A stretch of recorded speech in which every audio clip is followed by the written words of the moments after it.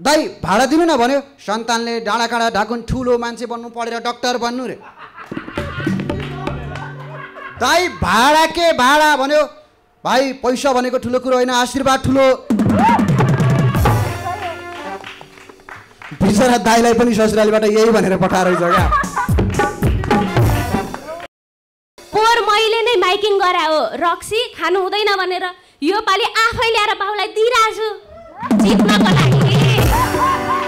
मैले यो पत्तो पाइसकेको छु।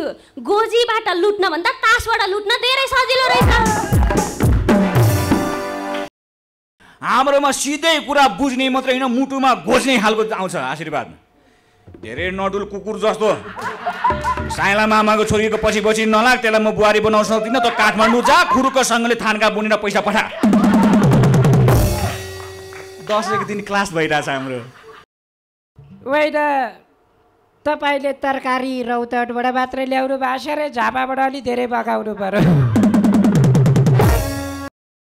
संसारमा सबभन्दा बोर लाग्ने भनेको टिचरलाई सम्झिँदा।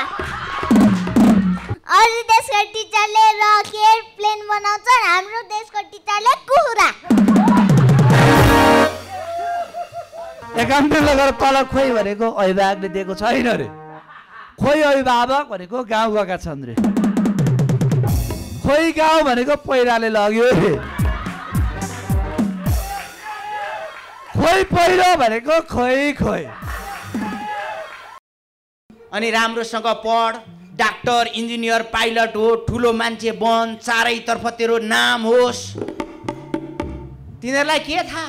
Doctor Govinda KC pilot Vijay Lama engineer Kulman घिसिङ सबलाई ठेगान लाउने अन्डर एसएलसी हुन्छ भने